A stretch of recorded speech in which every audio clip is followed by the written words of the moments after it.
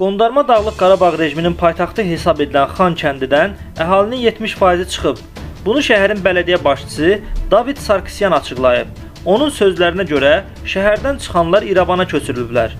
Bildirilib ki, şəhərə giriş-çıxış məhdudlaşdırıldığından əhali qida ilə təmin etmək yerli hökumətin üzərinə düşür.